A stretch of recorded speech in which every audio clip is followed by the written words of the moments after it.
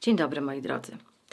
Zgodnie z Waszym pragnieniem chciałabym dzisiaj odnieść się do pewnych e, informacji, które od Was posiadam, a które dotyczą e, pracy e, mającej za zadanie wykazać, że macie wiedzę na temat czegoś takiego jak synteza sztuk.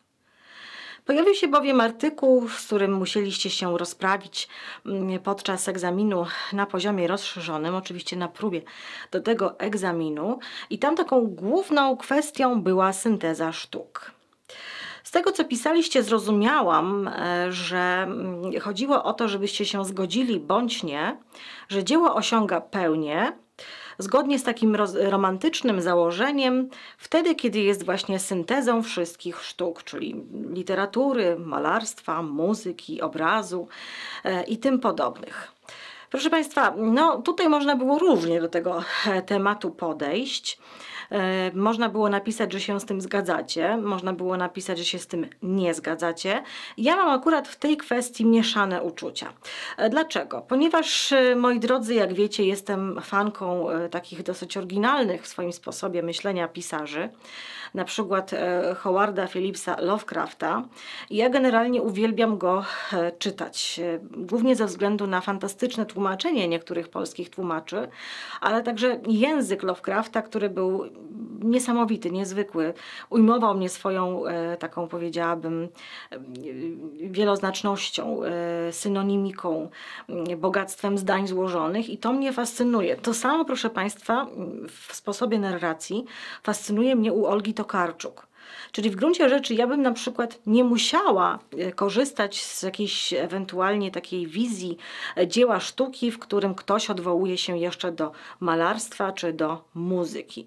Ale nie przeczę, że są dzieła, których muzyczność, czy weź taka wizyjność, malarskość bardzo przemawiają do wyobraźni e, czytelnika, e, czy też jakiegoś widza albo słuchacza i wówczas, proszę Państwa, osiągają tę swoją pełnię, ponieważ warto je zobaczyć właśnie w tej takiej najlepszej formie i do takich dzieł sztuki z pewnością należy wesele.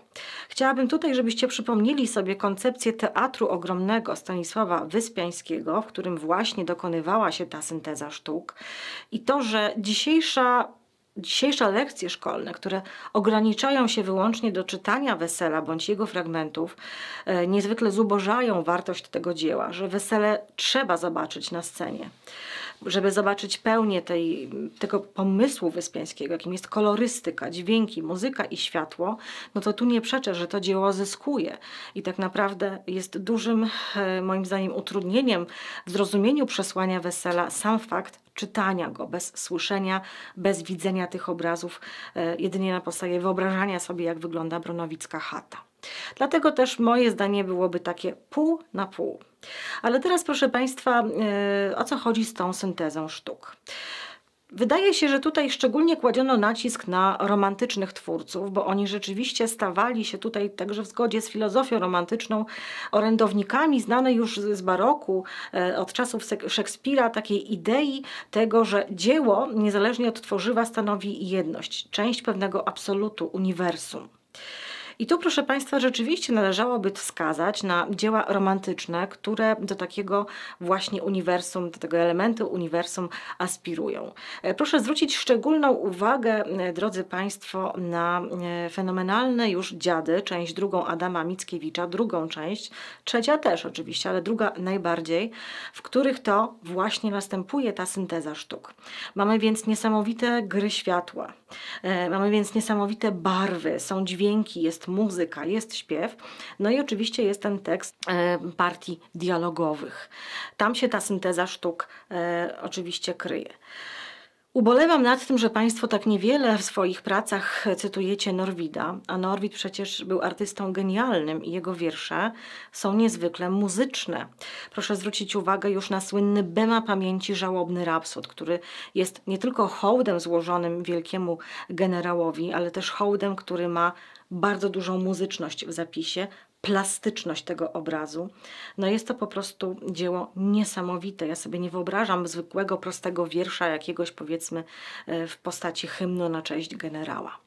Ale tego typu zjawiska były też i w takich nieco powszechniejszych lekturach. Popatrzcie na syntezę sztuk, która e, ma miejsce, dajmy na to, w chłopach czy ludziach bezdomnych.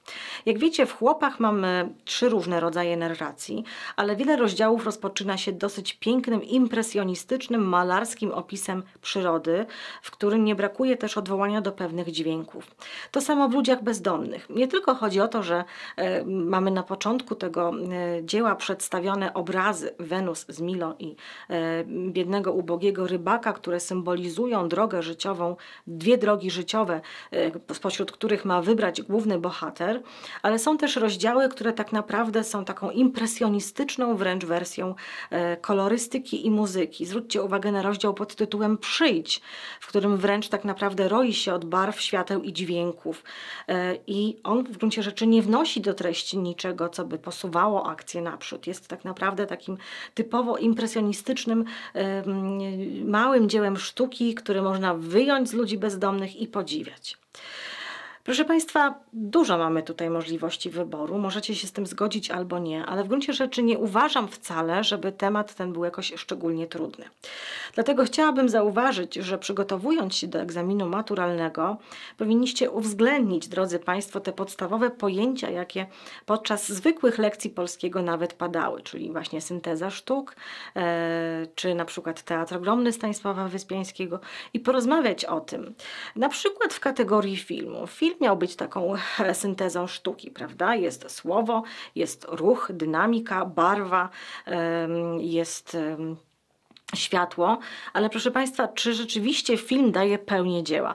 Nie zgadzam się z tym, ja osobiście się z tym nie zgadzam i możecie powiedzieć, e, że no nie rozumiecie, ale ja Wam powiem dlaczego.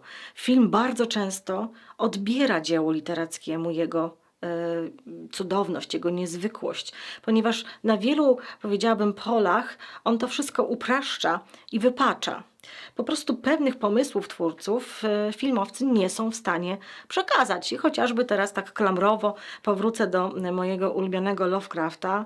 E, wśród e, fanów oczywiście jest nawet ranking filmów amerykańskich głównie, które powstały na bazie opowiadań Lovecrafta, ale w gruncie rzeczy panuje przekonanie, że większość tych filmów czy filmików no po prostu nie jest w stanie oddać ducha tej wyobraźni, bo wszystko to, co jest tam pokazane, przedstawione, jest takie śmieszne, groteskowe, mocno spłaszcza tę myśl Lovecrafta. No więc film moim zdaniem do tej syntezy sztuk jakoś jeszcze chyba nie dorósł tak do końca. Natomiast ja osobiście dziękuję Wam za uwagę. Dziękuję, że poruszyliście ze mną w rozmowach ten problem i zapraszam na kolejne odcinki.